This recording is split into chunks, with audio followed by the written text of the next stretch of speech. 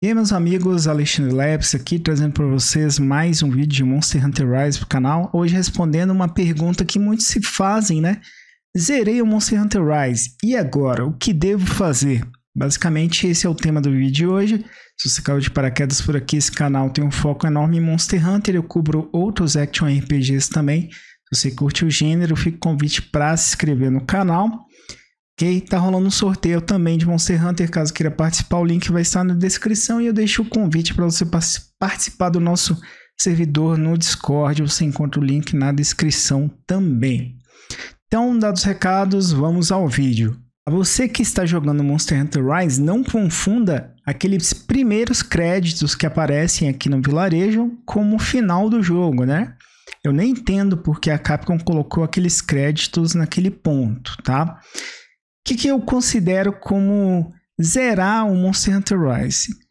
Na prática, você zera quando você mata a Nawa pela primeira vez, ok? Ali é o ponto de zeramento, é onde começa o endgame aqui do Monster Hunter Rise, onde você vai subir o seu rank de caçador, né? E você vai chegar até o HR100, beleza? Para enfrentar o último monstro disponível aqui no jogo base, que é o Valstrax no caso.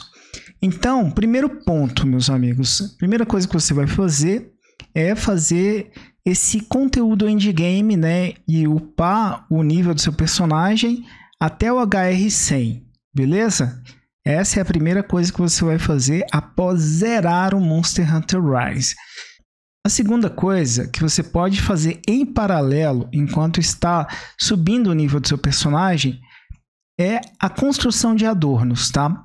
Aqui no Monster Hunter Rise base é a parte mais importante que tem aqui de conteúdo endgame, porque isso vai servir para você se preparar para a expansão Sunbreak. Eu diria que é a parte mais importante de preparação para a expansão Sunbreak, porque você vai utilizar todos os adornos que você se esforçar para fazer aqui agora, você vai conseguir utilizar já no início da expansão, preparar builds para facilitar suas caçadas lá no início da expansão Sunbreak, tá? Que o nível de dificuldade vai aumentar bastante. Então, recomendo que vocês gastem um tempo aqui se dedicando a fazer os adornos, tá? Se você não tiver tempo, eu recomendo que você faça pelo menos os de resistência elemental, como, por exemplo, aqui, Joia de Resistência Dragão, tem três níveis, certo? Recomendo que você faça pelo menos três.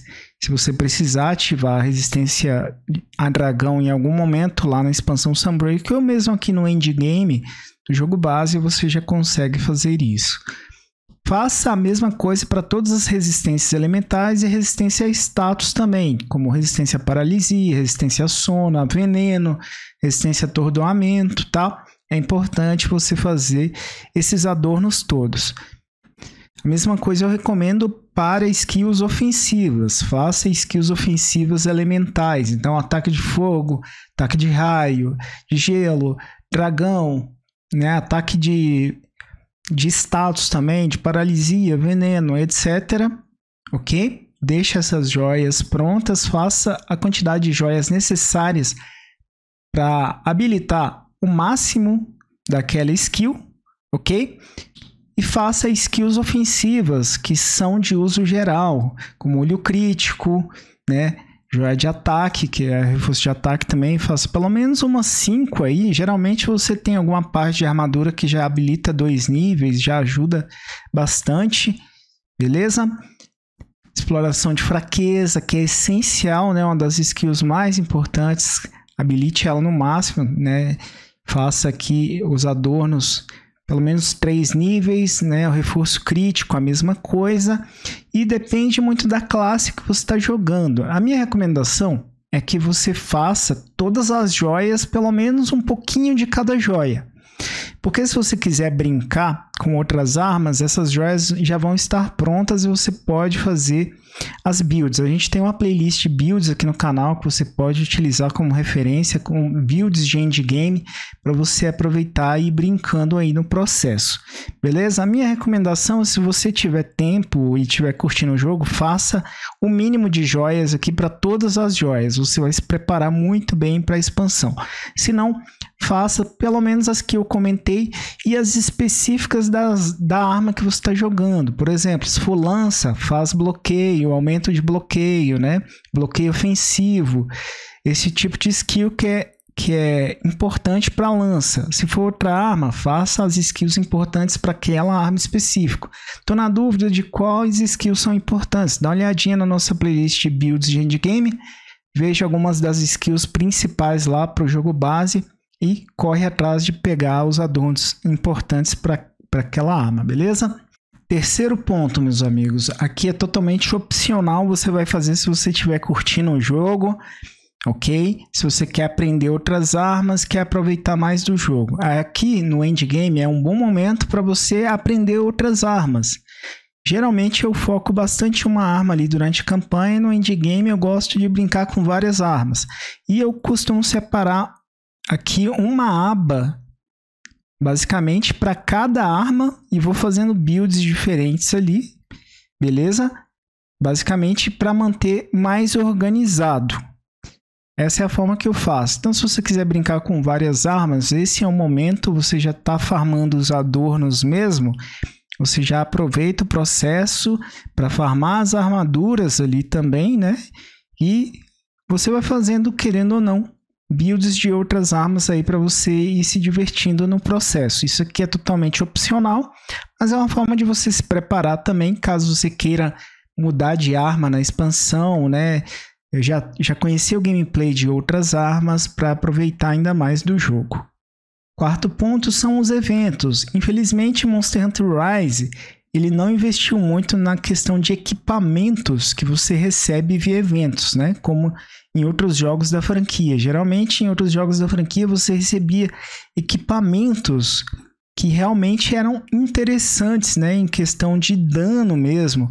Aqui no Rise a gente só recebeu equipamentos que são de camada, ou seja, tem várias armaduras em camada, tanto para o seu personagem, quanto para o Palamute, quanto para o, o gato, né, o Pálico. E você tem alguns personagens temáticos também que você pode habilitar do Street Fighter e etc. Então, é conteúdo mais cosmético mesmo, mas ainda assim, se você curte esse tipo de coisa, recomendo que você faça os eventos aí, ok? É uma forma também de você já fazer o seu farm, porque você vai receber ali o, as recompensas né, do monstro que você está caçando normal. Já agrega isso no farm que você está fazendo dos adornos, ao mesmo tempo que você vai liberando né, o conteúdo cosmético dos eventos, beleza? Próximo ponto são as arenas. Arenas são pontos muito bons para você aprender uma arma, já que você vai enfrentar os monstros com uma armadura personalizada pela própria Capcom, ok? Então, é uma espécie de desafio. Você ganha recompensas por completar todas as arenas, nem que seja pelo menos uma conquista para o seu Guild Card, beleza? Aqui eu não completei todas, esse aqui já é meu segundo save no PC. A Capcom, né? não traz pra gente um cross save, então já tô no meu terceiro save jogando agora no PlayStation, tendo que refazer tudo. A gente meio que vai focando no, principal aqui do PC, por exemplo, eu foquei muito no arco, né? Então eu fiz a arena do Bariote, do Rajang aqui, por exemplo, para eu ganhar aquela peça que dá o capacete lá, que me dá um tiro extra com, com o charge extra do arco, né? Por exemplo, beleza? Mas a, a arena é muito bom para vocês aprenderem as armas, né? E dar uma brincada aqui também, aproveitar mais do conteúdo do jogo, tá? Recomendo para quem quiser aprender o máximo do jogo, se testar, né? E tentar tirar o rank S aqui é, nos desafios de arena. E por fim, meus amigos, para quem quiser fazer o 100% em Monster Hunter Rise, tem aqui o Guild Card, ok? Esse meu save aqui do PC tá com 46%, porque eu não foquei tanto nas conquistas. Vou focar agora na, na versão de PlayStation 5, né, que eu vou tentar platinar lá. Inclusive, estou fazendo vários guias de troféus à medida que eu consigo jogar o jogo, ok? E chegando o Sunbreak, é, eu vou tentar fazer o troféu das coroas, que é o mais complicado, tá? Aqui tem a parte das coroas, para quem não sabe do que se trata, é a conquista mais complicada em geral de Monster Hunter, que é caçar um monstro menor, né, de tamanho menor e de tamanho maior de cada monstro. Quando você caça o de tamanho menor, você vai ganhar aquela coroa de ouro, e o de tamanho maior vai ganhar também a coroa de ouro. E esse processo é bem complicado, né? Porque depende de RNG, e aí tem alguns métodos para você medir o tamanho do monstro, para você não ter que ficar caçando ele. Você pode sair da quest e tentar novamente, né? E aí você caça quando você achar que o tamanho tá tá diferente, né? E tá numa faixa ali que é mais provável de você conseguir a coroa, beleza? E aqui é o desafio para quem realmente gosta de ter a platina de Monster Hunter, que é um jogo satisfatório, né, que o pessoal curte tanto o gameplay, o processo ali de aprender mais sobre as armas, né, de buildar o personagem, de melhorar como caçador no processo como um todo que acaba jogando e querendo ter aquela conquista também de fazer o 100% do Guild Card. Isso aqui é uma das conquistas, mas tem várias outras conquistas aí no meio do processo. E aí você vai ter várias conquistas aqui para fazer o 100%, além das coroas, né? Matar um número X de monstros, sei lá, mil monstros. É, completar todas as quests de rank baixo lá do, da área de encontro pescar todos os peixes e por aí vai, tá bom?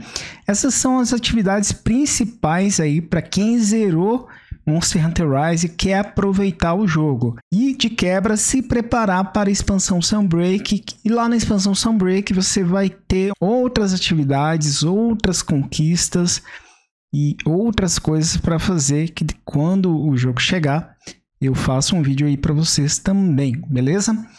Então esse foi o vídeo, espero que vocês tenham gostado. Se você gostou, não esquece de deixar sua avaliação que é importante demais. Um comentário aí para eu saber que vocês estão acompanhando, né? Estão jogando também. Beleza? E comenta aí se você é aquele cara que gosta, que faz questão de ter a platina de Monster Hunter Rise, né? O 100% do Guild Card. Mas é isso, meus amigos. Caso queira apoiar o meu trabalho, considere se tornar um membro apoiador. Dá uma olhadinha também nos links que eu deixo aí na descrição, tá? Está pensando em comprar algum acessório, jogo, qualquer coisa, se você acessar a loja por um dos meus links e fizer a compra, é uma forma de apoiar o meu trabalho e ajuda demais, demais. Ok? Então é isso, ficando por aqui. Até o próximo vídeo. Valeu e fui!